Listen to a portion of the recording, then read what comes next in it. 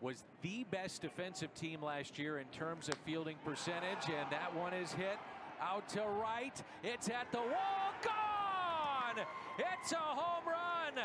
Dylan Carlson.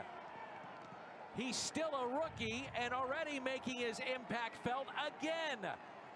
Dylan Carlson, three-run bomb, 6 nothing in the first inning for St. Louis.